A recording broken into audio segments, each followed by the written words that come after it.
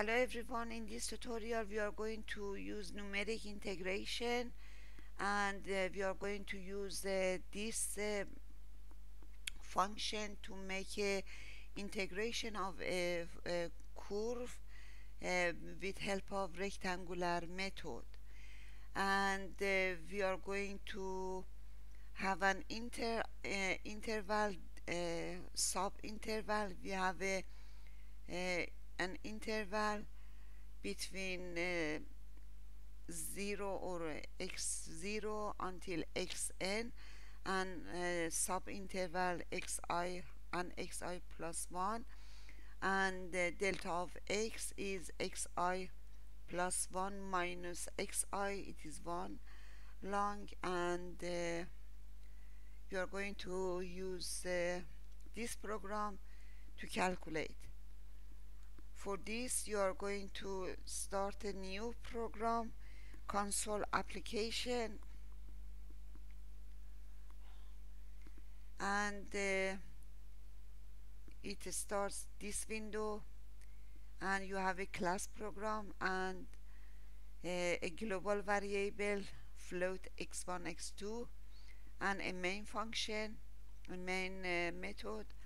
And inside main method you have a float variable sum and uh, when you initialize you must end it with big F and console write line please enter an interval the decimals with comma and differ with a space uh, mean and max and you are going to use a string x0 console red line and variable y is equal x uh, 0 dot split with space between and uh, we are going to use x1 equals to y of 0 and x2 equals to y of 1 and you are going to use try catch method. And if something is wrong it appear a error message and then we are going to use write line until the item of intervals and in int n. We are going to read this string and convert it to integer.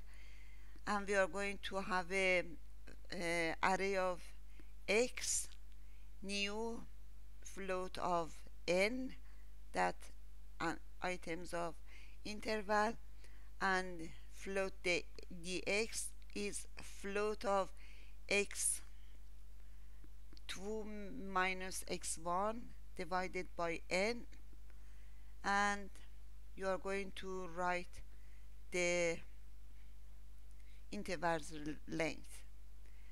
For int from 0 until n you are going to use x of i equals to x1 plus i multiplied by dx. And again from 0 to n sum increments with float of math dot sine of x of i. And you are going to use the write the result you can uh, pause and copy these code sources and then copy and then pause and copy these code sources. Now we are going to run the program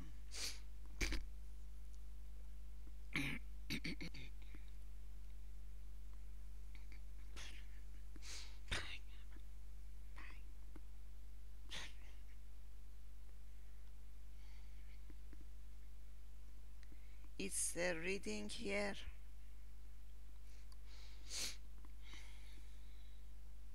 Or compiling. Or debugging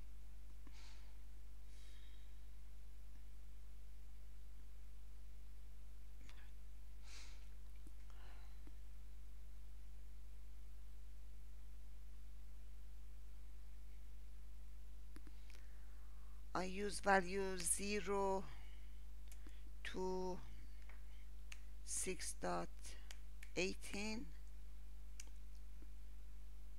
uh, 10 and it is that part. The sinus of x between 0 until 2 pi is that value the integral and it is correct if you calculate in MATLAB. Alright it was all in this tutorial. See you on next tutorial